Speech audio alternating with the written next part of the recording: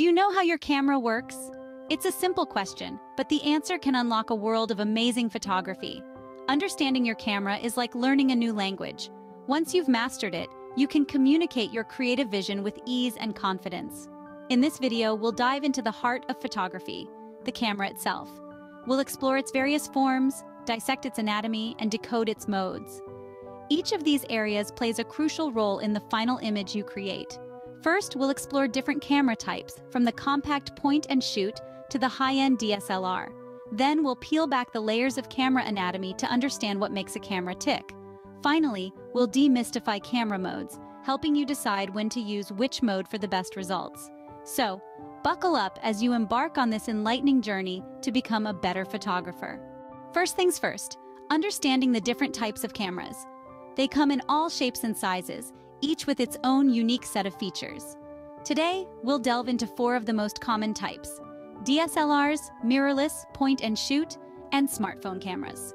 Let's start with the big guns, the digital single lens reflex, or DSLR cameras. These are the heavyweights of the photography world. Their main selling point? Interchangeable lenses. This offers a level of versatility that can be a game changer in your photography journey. However, they're often larger and heavier than other options, which can make them less perfect for on-the-go shooting. Next, we have the mirrorless cameras. They're like the younger sibling of the DSLR, offering similar image quality and lens interchangeability, but in a compact package. They're lighter, smaller, and quieter, making them a favorite among street photographers. The downside? Their battery life tends not to be as robust as that of DSLRs. Then we have the point and shoot cameras. These are the easy riders of the camera world. They're compact, user-friendly, and come with a fixed lens, which means you don't have to worry about changing lenses. They're great for those who want good quality photos without the complexities of a DSLR or mirrorless camera, but the lack of lens interchangeability could limit your creative options. Lastly, we have smartphone cameras, the most accessible camera type.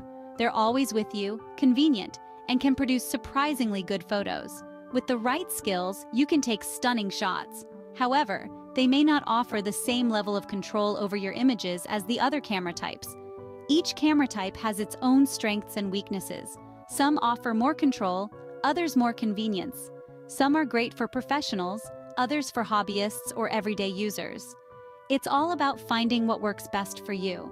Knowing the type of camera you have or want can make a world of difference in your photography journey.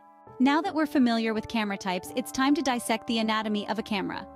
Just like a human body, a camera has many parts, each with its own unique function, all working together to capture the perfect shot.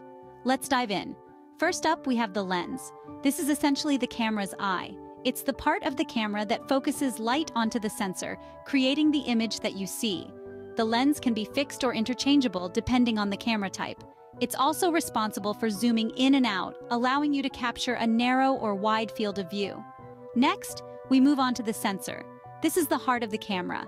The sensor is a silicon chip that captures light and turns it into an electrical signal, which is then converted into the image you see on your screen or in your printouts.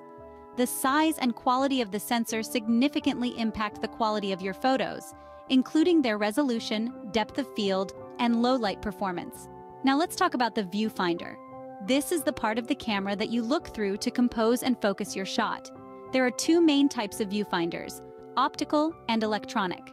Optical viewfinders show you the scene exactly as it is, while electronic viewfinders display a digital preview of your image, including exposure, white balance, and other settings.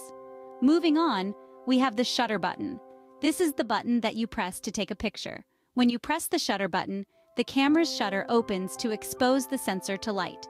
The length of time that the shutter stays open is known as the shutter speed, and it can be adjusted to control how much light hits the sensor, affecting the brightness or darkness of your